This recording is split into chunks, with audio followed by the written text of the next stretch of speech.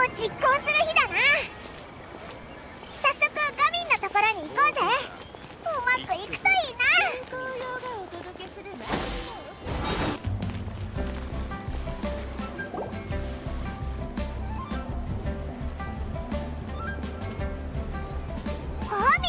朝っぱらから遊んでんのかよ。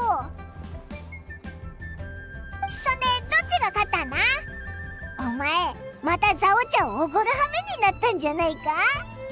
おいおいパイモン。俺を見くびりすぎじゃないか？お皆さんお揃いのようですね。ちょうどよかった。お三方に重要な依頼があるんです。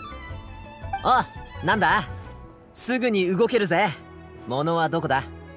護送の依頼です。行栄荘の茶商が品を持ってリーウェ港へ向かいますので護送してあげてください。大口のお得意さんがその商人を指名したそうです了解。住所は？こちらです。よこんな大掛かりな依頼ってことはきっとすごく重要で急を要してるんだと思うぜ。ええ。早く遂行するに越したことはないでしょう。早めに出発した方が良いかと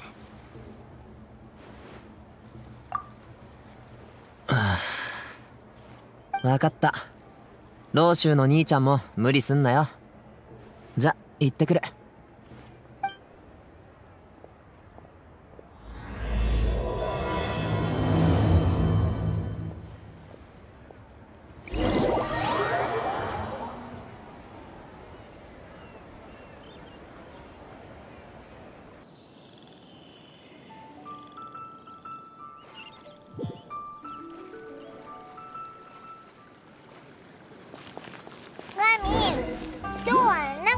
数が少ないな。なんか物語でも聞かせてくれよ。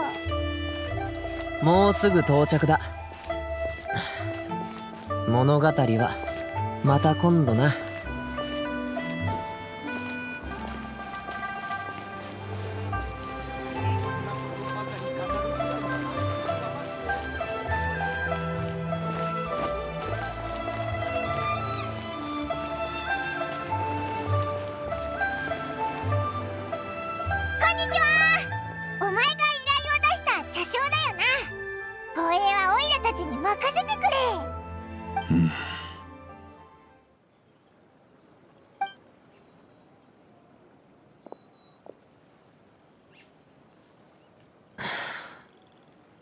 親父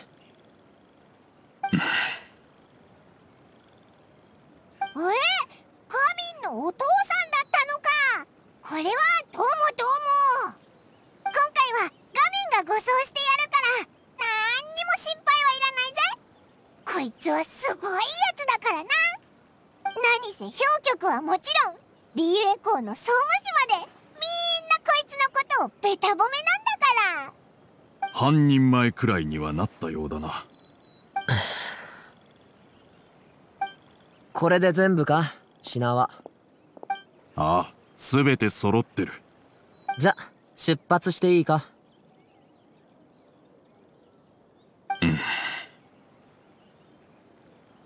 大口顧客の指名だからお前も行かなきゃいけないんだぞ。じゃないとオイラたちは責任を追及されるしお前だって大儲けのチャンスを逃しちゃうぜ。分かっている。では世話になる。出発しよう。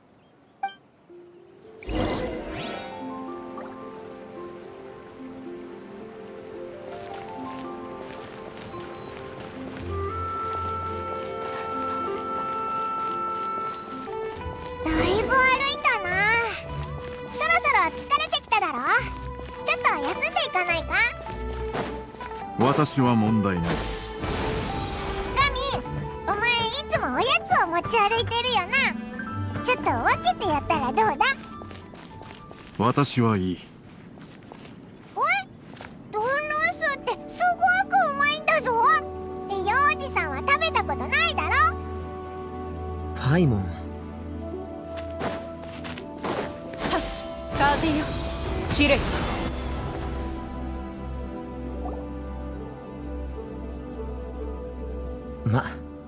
開けた場所もあるしここで一息つくとすっか。ガミンは一緒に座らないのか？俺は平気だ。見張りでもしてるさ。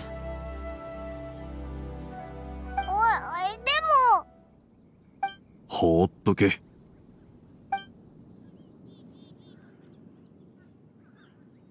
しょうがないなじゃあ先にいただくぜ知ってるかこのトンロンスーって店によって味が。待て。何者だ？我の動きが少々大きすぎたか。そんなことより役目を果たすことに集中しよう。金品などは持っておるか？おとなしく差し出すがよい。どどうしたら？人数は2人。他に仲間はいないみたいだな。こいつらを追っ払うのは楽勝だがもし親父を狙って罠でも仕掛けてたらまずい。ここは慎重に行こう。ここは俺に任せろ。旅人パイモン。親父と品は任せた。先に行っててくれ。ガミン危険だ。俺の仕事さこれがななんと手強い相手だ。ここは引くべきだな。もっと軟弱なものを狙うとしよう。逃がすかよ。そう簡単に。ではな失敬させてもらうぞ。ガミン。心配すんなって。ガミンはすごく強いんだから。この前だってあいつ一人で10人を超える砲塔弾をやっつけたんだぞそうは言ってもガミンが。うわもし最初から私のもとで商売を学んでいたらこんな危険な目に遭わずに済んだのに。ガミンに言われた通りオイラたちは先に進もう。ここで待ち伏せにでもあったら大変だ。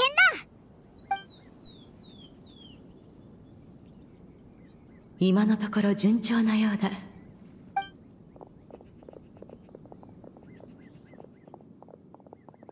ここまで来たらもう大丈夫だな。うって勝利なんでここにいるんだよ？若者よ。早くタコを下ろしてここを去った方がいい。近くに強盗がいるぞ。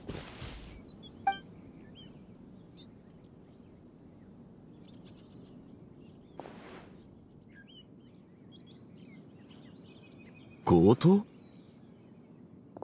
なんと真っ昼間から。コホンん？コホンコホンなるほど。最近風邪が流行っていると聞く。パイモン喉の調子が悪いのなら座ってお茶でもどうだええいやそうじゃなくてあのこれはおお菓子を食べ過ぎたせいだぞ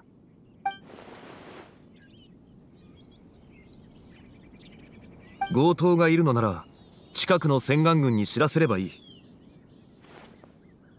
そうか？ならば人にはそれぞれ得意分野がある。ここは専門家に任せてはどうだろうか？ああそうだな。私たち一般人が首を突っ込んだところで足手まといになるだけだろう。言う通りだ。せっかくの良い天気だ手持ち無沙汰でいるより静かな場所で茶でも飲みながら心を落ち着かせ同胞を待つのも悪くない。ではそうするとしよう。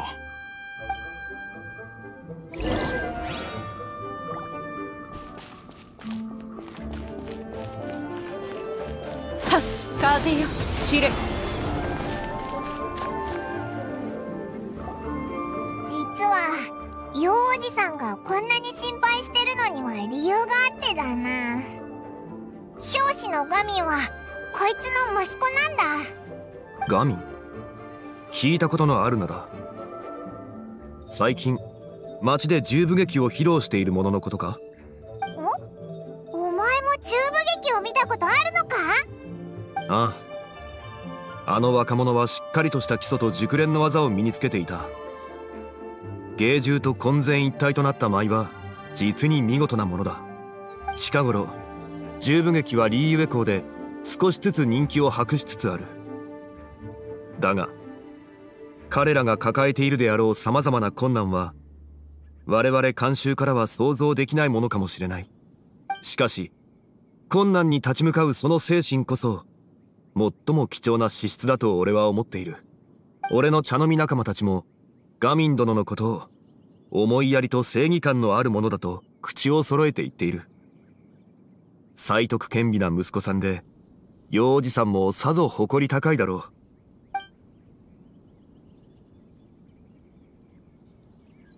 おいらたちに合わせてようおじさん呼びしちゃってるぞ。ええ。あいつはまあ確かに頑張り屋ではあるな。ガミンが戻ってきたら本人の前で褒めてやれよ。それは。ガミン殿はまだ年も若いゆえ衝動に駆られやすいのだろう。若者にはよくあることだ。幼児さんから伝えづらいというのなら俺たちが代わりに伝えてもいいが。いやいやそんな迷惑をかけるわけには。はあもう昔のことなんだがガミンと私の間には溝ができてしまってね。私は生涯をお茶の商売に捧げてきた。だから子供にもそのイロハを学ばせたかったんだ。でなければあいつ一人でどうやって生きていく。しかしあいつの教師の仕事は軌道に乗り護送する距離もどんどん伸びていった。それに十分劇を諦める気もさらさらないようで私は嬉しい反面心配でな。若者は体が丈夫で力もみなぎってる。だが年老いたらどうなる？そう考えるたび自分の判断は間違っていないのだとあいつのわがままを聞いてやるわけにはいかないと思い直すんだ。こうなることを知っていたらあいつが幼かった頃十部劇なんかに連れて行かなかったというのに。子供に平坦な道を歩んでほしいと願う親の気持ちは理解に難くないもの。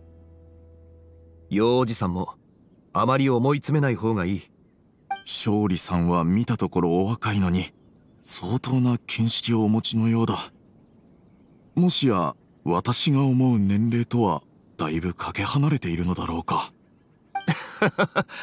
考えすぎだ実は古い友人の中に数人の娘を持つ者がいてな。その娘たちは皆独り立ちをしている。彼女は子供を心配して思い悩むのではなくその子供たちに夢を追いかける自由を与えることを選んだ。そのご友人は思い切ったものだ。私にはそんな度量ないかもしれんあそれから勝利さんさえ良ければ私のことは名前で普通に呼んでくれたらいい。ではそうさせてもらおう。勝利さんから見ても私は心配しすぎなのだろうか。いやその言い方は少々偏りが過ぎる。親が子供を心配するのは当然のことだ。とはいえ空を飛ぶタコ同様糸をきつく引っ張りすぎては逆効果になりかねない。先ほどの古い友人はこう言っていた。もし子供が夢に向かって外の世界を歩みたがっているのなら糸を引っ張り続けてはタコが落下してしまうだろうと。はあ。やはり私の考えが古すぎたということか。家族を思う気持ちを古いという言葉で評すべきではない。ただ少しだけ寛容な心で息子さんを見守ってあげてはどうだろうか。陽徳殿はきっと情を重んじる方なのだろう。ガミン殿の心配はしばし置いておきいろいろな場所を巡りながら茶を飲み景色を堪能するのも悪くないのではないか。すぐそこに思いもよらぬ吉報が待っているかもしれない。すぐそこか。そんなわけないだろ日々が積み重なり瞬く間に1年が過ぎる。気づけば子供が成人しているという感覚を父親である陽徳殿はよく分かっているだろう。ガミンは？そうだな。気づけばもう羽が生え揃っていた。勝利のやつ話がうまいな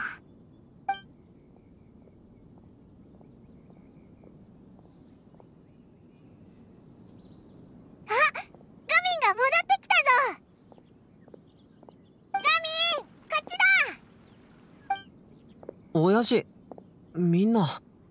それに王城堂の勝利先生も。こうして出会ったのも何かの縁だと思い少し歓談をしていた、無事解決したのか？まあ。なんだその返事は？旅人パイモンちょっといいか？聞きたいことがあるんだ、うん、おどうしたんだよ。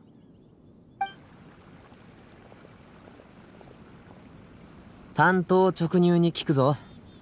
さっきの二人組の強盗ってお前らの知り合いか？えなえなんで急にそんなこと聞くんだよ。当たりみたいだな。パイモンが俺と目も合わせらんないってことは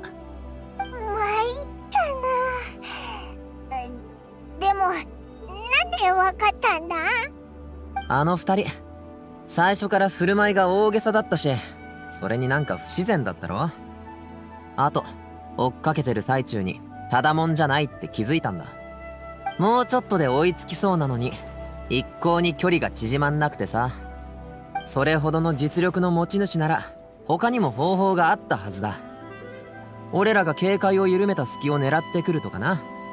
でもそうしなかった。つまり俺を引き離すのが狙いだったってことだ。お前意外と頭の回転が速いんだな。まあこれに関しちゃ経験によるとこが大きい。悪質な強盗とは何度も手合わせしたことがあるからな。けど今回みたいのは初めてだった。奴らにこう言っといてやったぜ。足を洗って改心したくなったら教師になるのがおすすめだリーユエ校に来たら俺を訪ねろってな。おおさすがだな。友達を作るのがうますぎるぞ。俺と親父の関係を何とかしたいって思ったんだろ。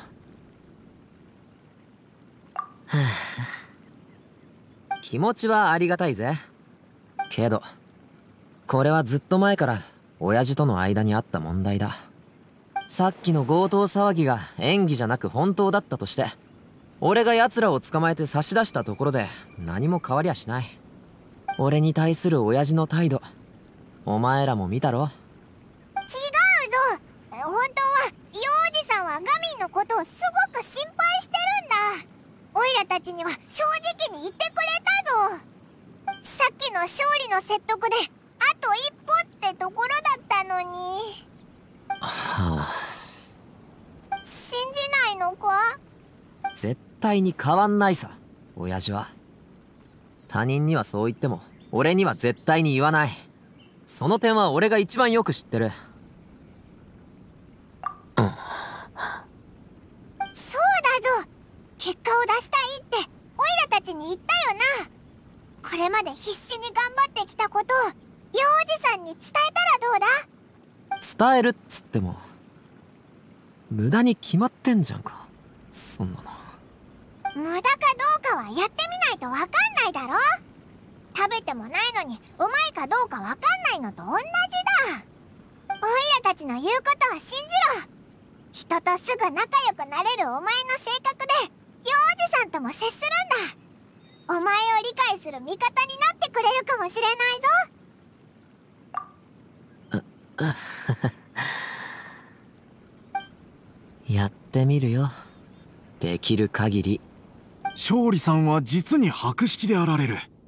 本当に感心させられることばかりだ。何十年と茶商をやってきたがこうして勝利さんからお茶の心得について色々と教わるとはね。過分な言葉だ。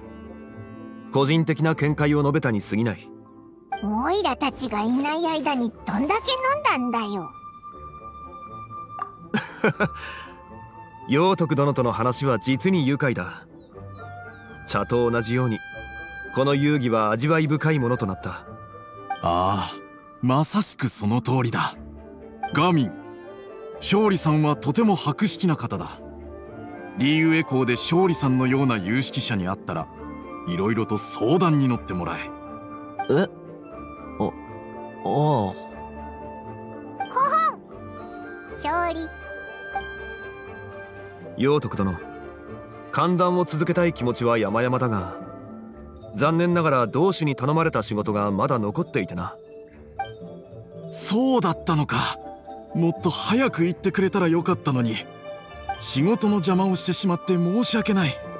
またご都合のいい時にでもザオ茶をご馳走させてもらえたら嬉しい。ああ必ずそこまで送ってやるぞおお前たちはここで話しててくれ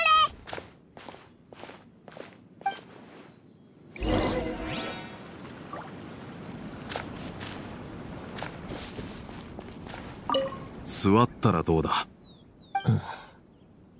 ああは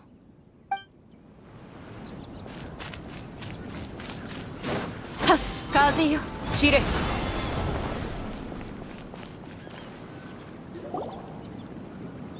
さっきは幼児さんを説得してくれてありがとな。オイラたちが送ったサインに気づいてくれて助かったぜ。二人とはそれなりに長く付き合っているからな。その経験のおかげだ。それに大したことではない。気にしないでくれ。ひひ。お前の性格は相変わらずも勝利見送るとは言ったけどなんでこんな遠くまで来たんだ？あいつらに聞こえない距離まで来れば十分だったろ？もう一人の友人が来ているからだ。旅人パイモン。そう！なんでお前が？我はずっといた。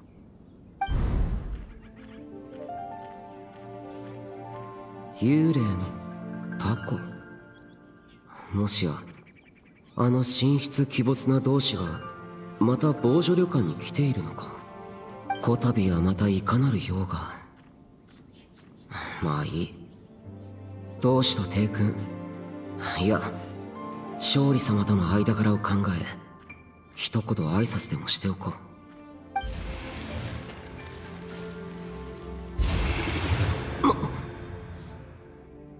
勝利様？てっきり風同志かと。ああいいところに来てくれた。お前もこの新しい代物を試してみないか？動力装置を取り付けたことでタコを上げる際により安定するのだが。相当熱心に研究をされているようだ。安定しすぎることでタコが上空でゆらゆらと揺れる様を見られなくなったのは少々残念だ実は今回解凍祭に必要なものを購入するよう同種に言いつけられている。あはい。毎年のことですね。おそらく来年も変わらないでしょう。う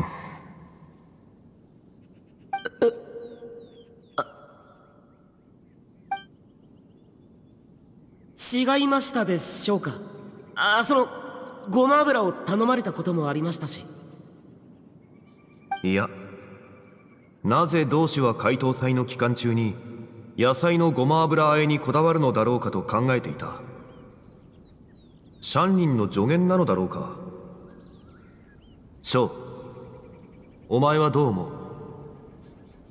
風同士とはあまり深く関わったことがなくなんとも。そうか王城堂の者と関わる機会を増やしてみるのはどうだ？暇があれば気軽に寄ってみるといい。こっちは装置を取り付けていない伝統様式のタコだ。この2種類のタコの違いを見定めより娯楽性に優れた方を選ぶようにと同種に頼まれている。ちょうど手が欲しいところでな。もう一つのタコをあげてもらえないか？はい。比較してみましたが速度を求めるのなら装置を取り付けた方のがいいでしょう。なるほど。代わりに同種に伝えるとしよう。この2つのタコはお前のところに預けておこう。普段友人と共にタコをあげるのもまた一興かもしれない。ああはい。あしかしタコ揚げを好む者など周りにおらぬゆえ。ならお前の最中を生かし探してみるのもいいだろう。なんだ。ただショーにタコ揚げを手伝わせてただけか。なんか聞いちゃいけないことなのかと思ったぞ。フータオに頼まれた実験だったんだな。手伝わせていたというより流行りの代物がどれほどの飛行性能を持つか比べるため誘ったと言うべきだろう。うつまり大会のライバルがまた一人増えたってことか。ショーはたこ揚げが好きか？好き嫌いなどという言葉で考えたことはない。ただ、空へゆっくり登る姿を見ていると、不思議と心が落ち着いてくる。いくらか、消灯に似ているのかもしれない。どちらも心に安らぎを与えてくれる。結構なことだ。じゃあショーはタコを作ってみたいと思ったことないか？オイラたち竜雲神官に作り方を教えてもらったんだ。もしショーが習いたいなら教えてやるぞ。せっかくだが今回は遠慮させてもらおう。我々の中で模様や装飾の創作に興じる者は見ぬだけだった。解答祭の後もし暇があれば同着の寺の近くで我を探すといい。あそろそろ日が暮れる。俺も帰って同種に比較の結果を報告しなければならない。フータオは元気にしてるか？よろしく伝えといてくれ。ああ。それと先日同種から聞いたのだが数日後に行営層を訪れる予定らしい。二人に時間があるのなら頃合いを見て行ってみるといいだろう。もし荘内で会えたら共に寒暖のひとときを過ごすのも悪くないはずだ。うん覚えとくぜ。じゃあまたな勝利。ああまた会おう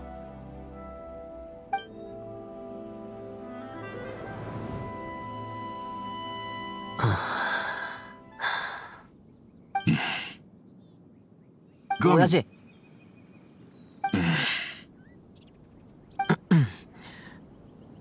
親父から先に行ってくれ。あいや。何でもないんだ。なら俺から。俺やっぱりリーウェ校に残りたい。ああ。賛成はできんが まったく最後まで話を聞け、うん、さあさあ神格ちゃん。ほら早く座って。長旅で疲れたでしょ？お茶を飲む？何か飲みたいものはない？我は大丈夫だ。お気遣いなく。師匠彼らはもう遠くまで行った。うむちょうどいい頃合いだ。我々の出番だぞ事前に伝えた計画は覚えておるな。無論師匠と我の役目は家族の幸せな場面を演じてみせること。おばちゃんと同じ飲み物でいい。分かったわ。関雲おばちゃんと神格まで。一体どんだけの人に手伝ってもらってんだ。ここはとりあえず座っとこう。ちょうど小羅千賀が手に入ったの。綺麗な名前だけに味もいいわ。買いだめた分を消費するため最近毎日飲んでおる。さすがに飽きてきたな。いかん。今は語り合いに集中せねば。お祭りの間は仕事も忙しいんでしょ？力になれることがあったらおばちゃんに何でも言ってちょうだい。酒を飲んで暴れる者がいたがおばちゃんに教わった通り奴らの頭を卓に押さえつけてやった。カンおばちゃんと神格。マジかよ今の話って。参った。演技に気を取られておったばかりに神格が変わった子であることを失念しておった。えー、っとあそうそう。新しい友人はできたかしら。ほらおばちゃんは近くにいてあげられないから神格ちゃんに友人がいてくれれば少しは安心だわ。最近の状況はおばちゃんも知っての通りだ。夜厨房に行ってグオパーと語り合うようになった。グオパーは話こそできないが一緒にいると安心する。はあ語り合える友人が一人もいないとはかわいそうな子だ。こうして考えてみるとガミンは手のかからない子だな。私は厳しすぎたのかもしれん。その話はこの辺にして神格ちゃんこれから時間あるかしら。おばちゃんと遊びに行かない？そうそう。温かい言葉をかけてやるんだ。その子もホッとするだろう前と同じように朝から晩まで岩を背負って山を登り降りし道沿いの草花を摘んで夕食とすることか。おばちゃんが望むなら喜んで。お親父おお茶を。あいやお茶は飲まない方がいいか。ああもうこれ以上は聞いてられない。ガミン先ほどの話を続けよう。私はお前がリーユエ校に残ることに反対だ。苦労するに決まっている。お前が家に帰ってきてくれたら。まあお前は私と性格がそっくりだから反りが合わないのは知ってる。ただ私のことはさておき他の家族のことを考えてみろ。おばやおじたちは喜んでお前の力になってくれるはずだ。少し楽な仕事について時間がある時に一緒にザオ茶をいただくのもいいんじゃないか？師匠ザオ茶とは大事なものか？しもう一度考えてはくれないか？すぐに答えなくてもいい。心が決まったら聞かせてくれ。親父本当に変わったな。昔の親父だったらこんなこと絶対言うはずないのに。でも俺は親父ありがとう。はあ。結構時間も経ったしそろそろいいんじゃないか？二人が仲直りしてくれてたらいいな。うん。人とも黙ってお茶ばっか飲んでるぞ。なんか嫌な予感が。まさかカオンの計画が失敗したのか？戻ったぞ。見送るついでにいろいろ喋ってたらつい時間が経っちゃって。ちょうど私たちもお茶を飲み終わったところだ。じゃ出発すっか。荷物を持ってくるガミいつの間にこんなに背が伸びたんだ？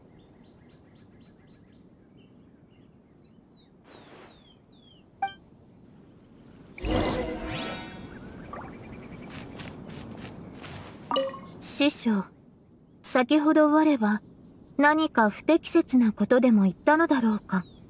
師匠の質問に正直に答えたつもりだったが師匠とガミンの父親の反応が少し妙な気がした。心配無用だ。少々問題は生じたが結果からすれば計画は成功だ。我も役に立ったか？無論だ。属性に染まらぬこともお前の個性だ。自分らしく生きていけばよい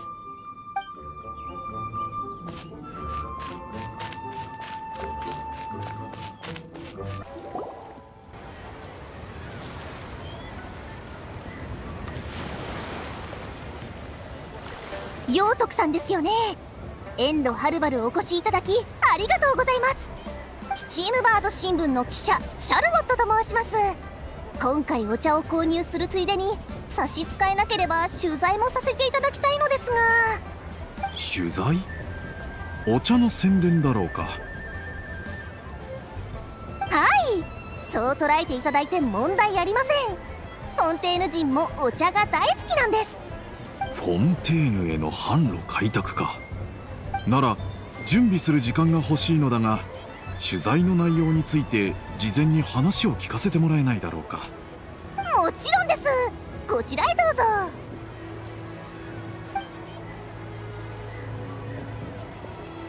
彼女もお前らの助っ人の一人か？自分も顔が広い方だと思ってたんだが上には上がいるな。参ったぜお前らには。こっちだ。おカンおばちゃん？きっと次の計画の話だ。幼おじさんに気づかれないうちに早く行こうぜ。や。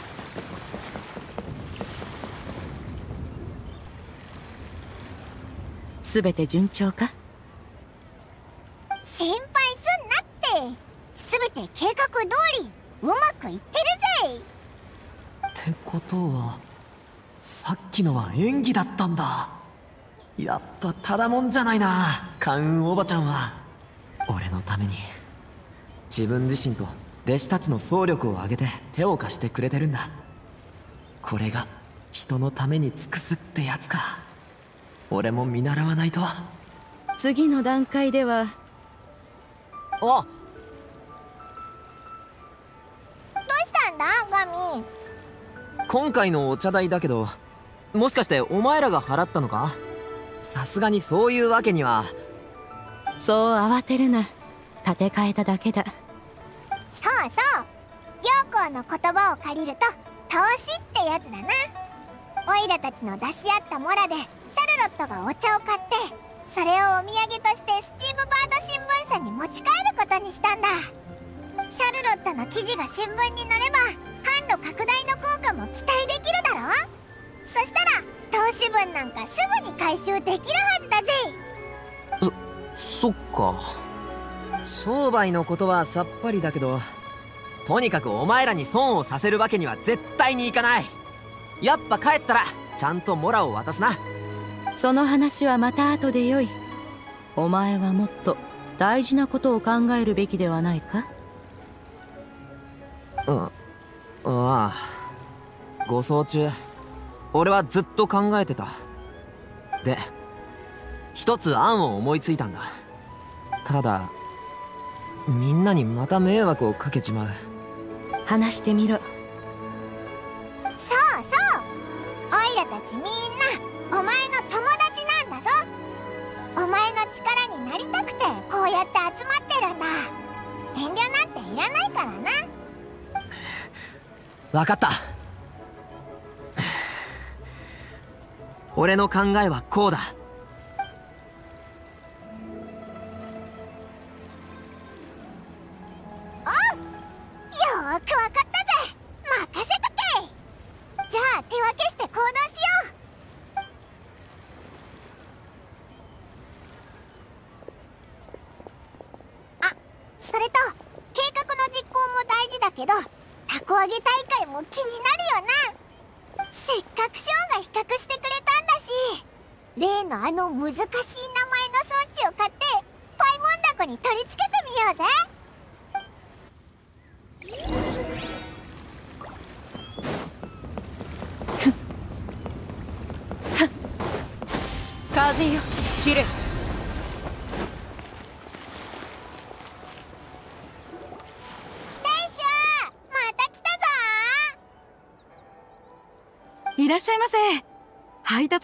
きたのですね。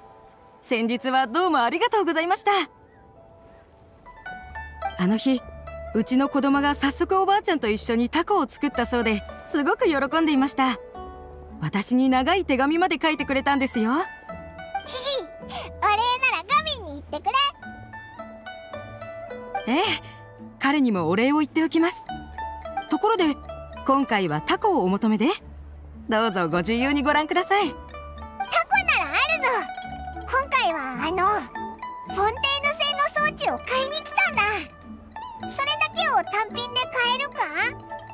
あそれならどうぞお受け取りください。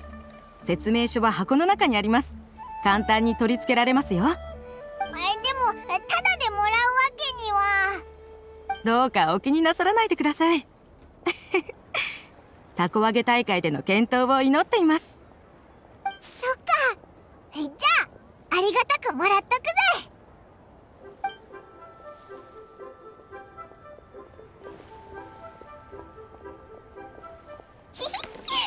り付け完了だ次は例の計画の実行に取り掛かろうぜ。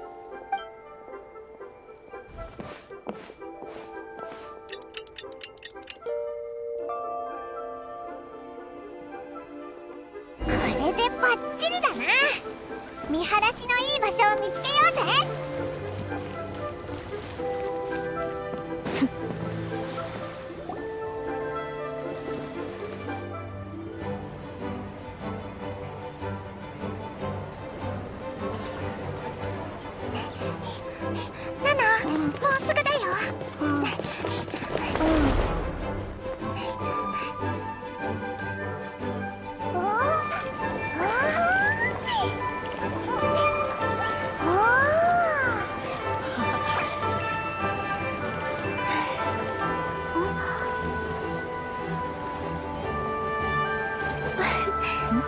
ししゃがんでください。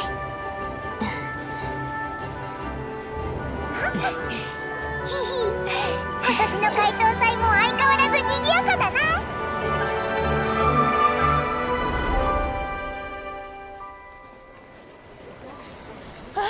何があったの？何か故障したのか？どうしたもんか？誰か洗顔軍に連絡してくれないか？あ？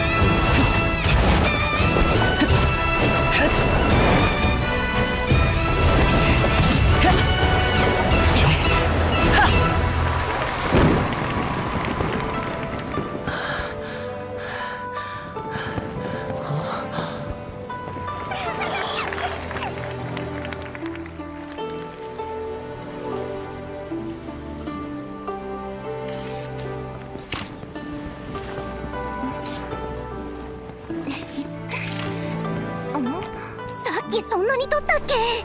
早くフィルムを変えないと。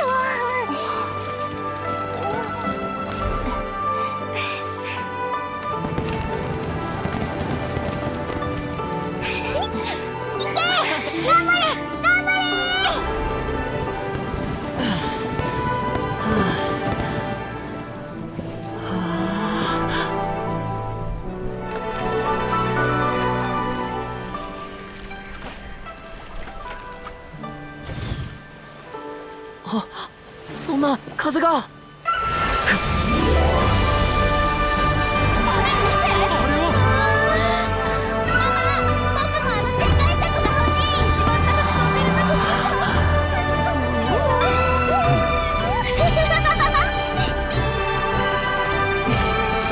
怪盗祭を祝して。怪盗祭を祝して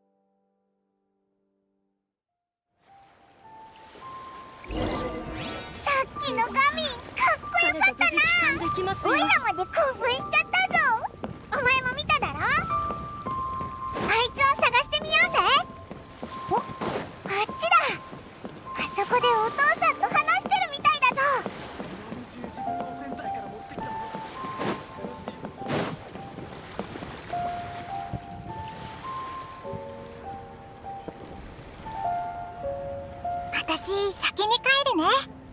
ああ感謝するよお嬢ちゃん。送っていこうか。うんうん大丈夫。師匠がすぐ近くにいるから。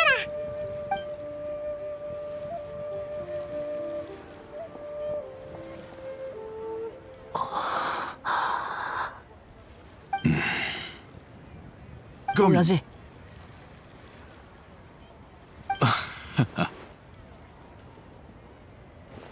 今回は私から言おう。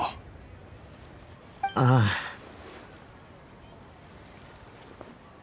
素晴らしかった。ずっと長く十部劇を見てきた私でも素晴らしかったと言わざるを得ない。あ親父も態度が柔らかくなる時があるんだな。お前本気でこれをなりわいにするつもりか？ああ分かってるさ。難しいことは。でも重要なのはそこではない。私が言いたいのはだな。難しいというのは客観的な事実に過ぎないということだ。重要なのはお前の決断お前の夢そしてお前の行動だ。私が若かった頃はおっと昔話はまた今度にしよう。とにかく考えが変わったのだ。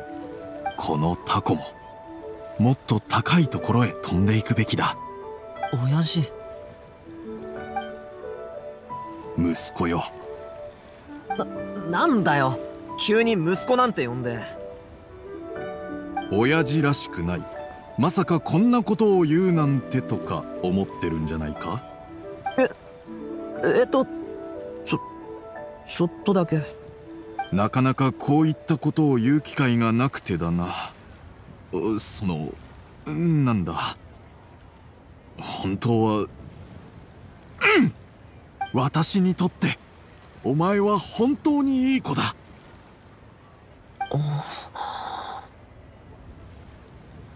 さあ言いたいことは以上だ。それにお前もさっきから何か言いたそうじゃないか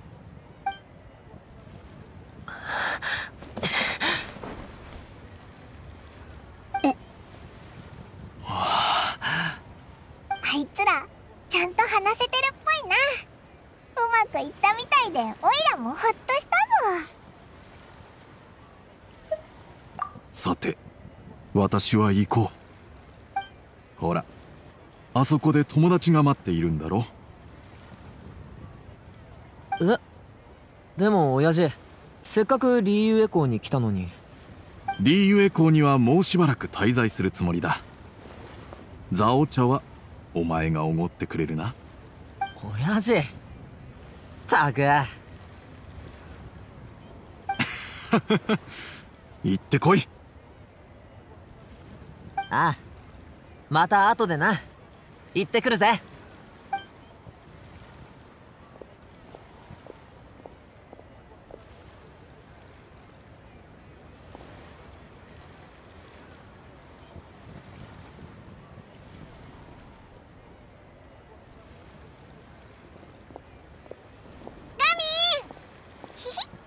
嬉しそうに笑ってるなそうか？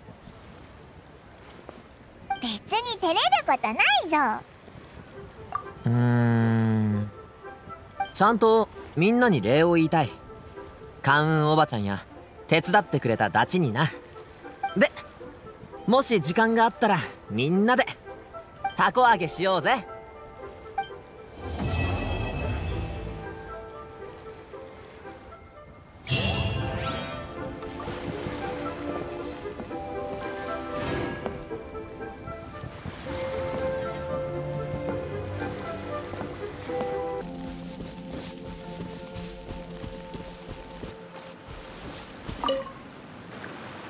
旅人。怪盗祭の明かりと風景を見たのか聞くつもりなら見ろ。この山の裏にリーウェ港がある。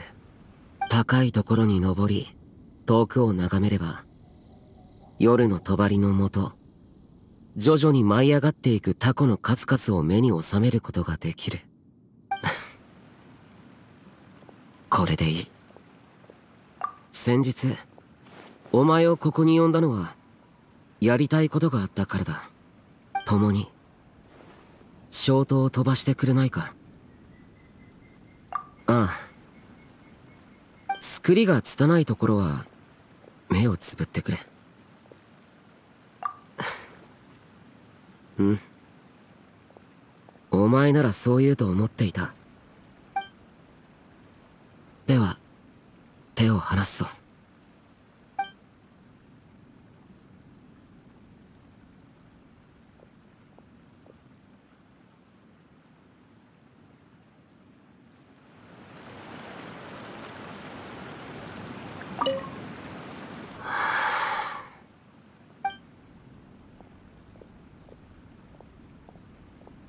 旅人。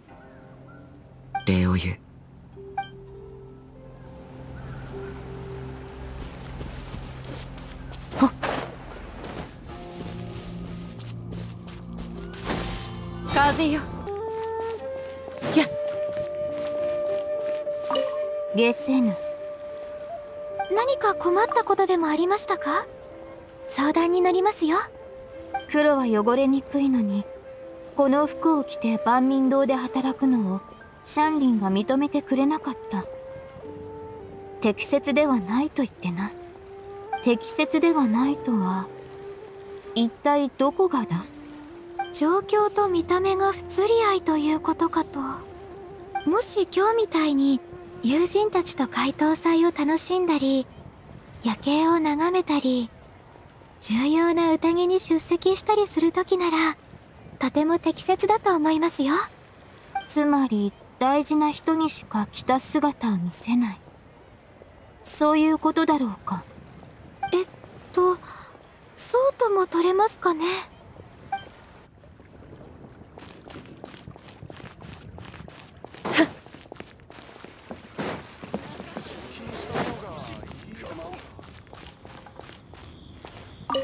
幽変。このたこ揚げ大会の優勝商品は他の者に譲るといい。シンくんどうか遠慮なさらないでください。あまたと会ったタコの中であなたが飛ばしたものは実に成功で右に出る者はいませんでした。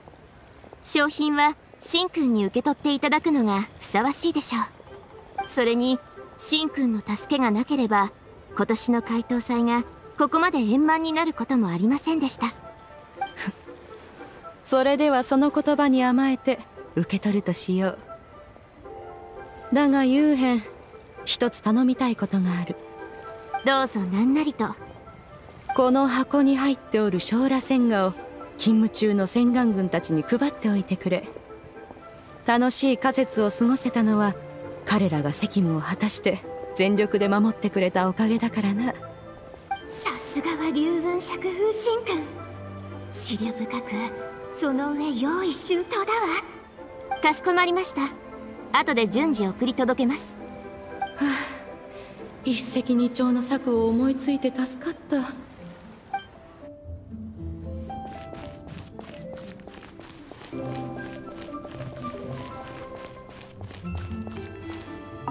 今でもドンロンスーが好きなのか？嘘だろ？ずっと覚えてたのか？パイモンが言ってたことを？もちろんだ。父がこのことに関心を持たないわけがないだろう。小さい頃お前は私の肩に乗って十部劇を見に行くのが大好きだった。毎回帰り道に腹が減ったとか焼き菓子が食べたいと騒いでいたな。屋台ごとに2つずつしか買っていなかったというのにいつの間にか街中の屋台を全部回っていた。一回おごってくれたことがあっただろう。お前のお小遣いでな。覚えてるか？ああ覚えてるぜ。あれが人生で食べた一番うまいドンロンスーだった。また食べに行こうぜ。その店ならまだあるし道も覚えてる。今回も俺のおごりだ。いいのか？あ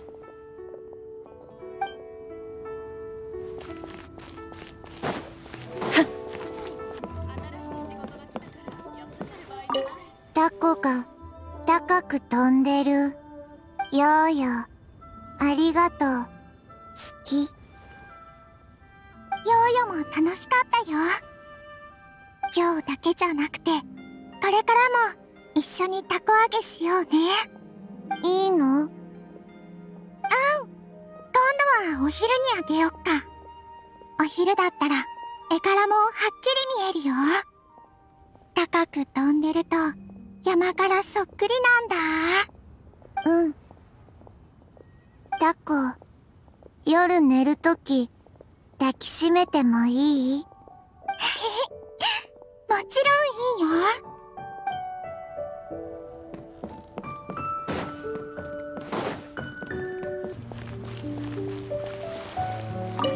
怪盗祭本当に最高だったわ今夜は眠れないかも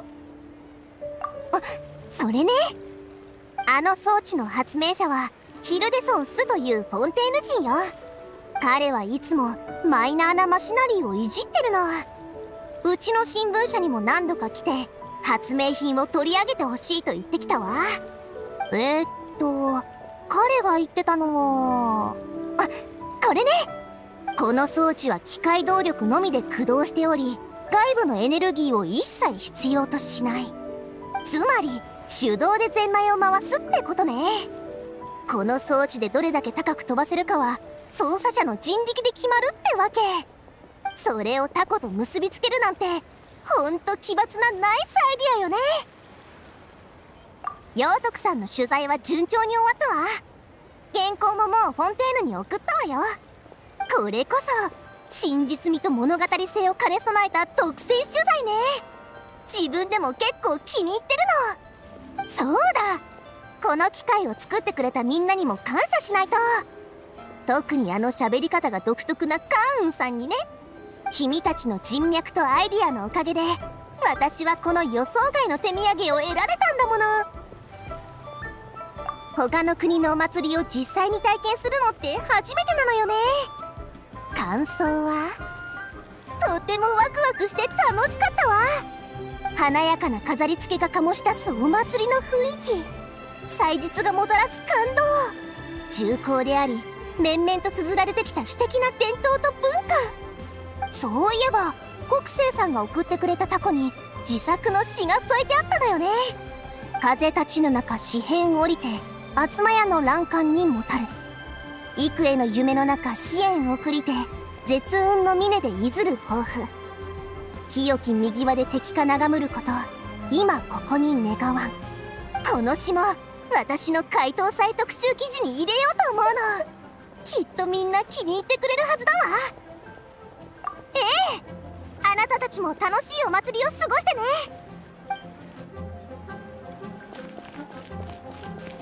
タコの形ってこんなにもいろいろあるその様子また旧友のことを思い出しておるのか。物を見て個人を忍ぶ。これも仕方のないことだ。話すといい。話したら心も軽くなる。もしミヌがまだいたのならこの平和な生成を共に眺めることができただろうと思ってな。あやつは手先が器用でタコ作りなど造作もないこの時代にもし屋台でも開きタコの商売をしていたらきっと先客万来であっただろう。もしあやつが昔のように属性に近づく機会に恵まれないのであれば我らにタコを託せばいい。商いが終わったら酒を持ってあやつと酔うまで飲むのだ。昨月あやつはもうおらん。そうだなもうおらぬ。あやつの分までもう少し眺めておこう。